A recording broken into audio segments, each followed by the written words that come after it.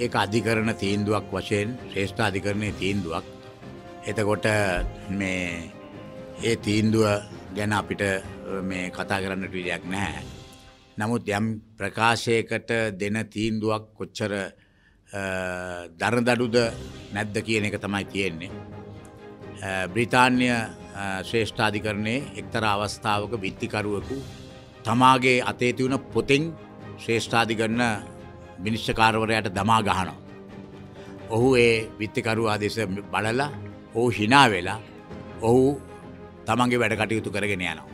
ඒ තමයි විනිශ්චකාරවරු කියන්නේ විනිශ්චකාරවරුයි කියලා ජනතාව බලාපොරොත්තු වෙන්නේ දෙවිවරු විදියට. මේ දේවස්ථානකට යනවයි කියලා තමන්ගේ සම්පූර්ණ ගැලවීම තියෙන මෙතන කියලා.